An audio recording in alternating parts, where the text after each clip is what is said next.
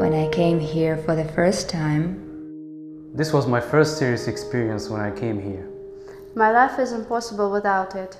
It's my way to develop and I learn. It's a really good practice that I don't have in real life.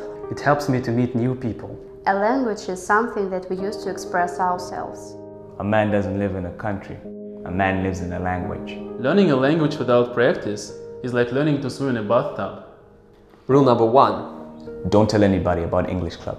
Rule number two. Never speak Russian. rule number three talk to whoever want. Rule number four. We play Mafia only in English. Rule number five. We play poker only in English. Rule number six. We watch movies only in English. Rule number seven. Think only in English.